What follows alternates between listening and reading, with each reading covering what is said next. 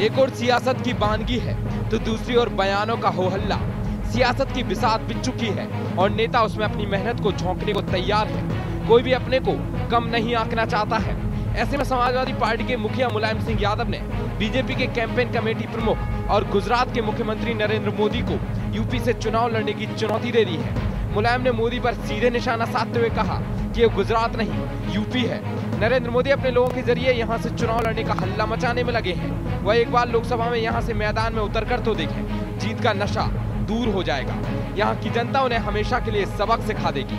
मुलायम सिंह यादव ने मोदी फैक्टर की हवा निकालते हुए कहा कि उत्तर प्रदेश अलग मिजाज का है। यहाँ हवाई बातों के नेता नरेंद्र मोदी का कोई फैक्टर काम नहीं करेगा। मुलायम सिंह यादव मोदी को ये खरी खरी सुना रहे थे रामपुर कस्बे में। वह यहाँ अपनी पार्टी के मुस्लिम चेहरे, आज़म खान की माँ के इंतकाल के मौके पर पहुँचे थे। उन्हें पता था कि यहाँ कांग्रेस नहीं, बीएसपी नहीं बीजेपी को निपटाना है। इसलिए मोदी के मुद्दे पर अभी तक मुखर नहीं हुए मुलायम, खुलकर बोले। उनका बोलना इसलिए भी खास हो गया, क्योंकि कांग्रेस समेत और कई दल आरोप लगाने में लगे हैं कि वोटों के ध्रुवीकरण के लिए मुलायम और बीजेपी एक हो गए हैं। अब मुलायम सख्त हुए हैं तो बीजेपी भी पलटवार करेगी। आखिर सियासत में जुबानी जंग के भी अपने मायने होते हैं। लेकिन इन मायनों में राजनीतिक सिद्धांत कितने काम आते हैं, ये देखना वाकई दिलचस्प होगा। सुदर्शन न्यूज़ के लिए संजय तिवारी की रिपोर्ट।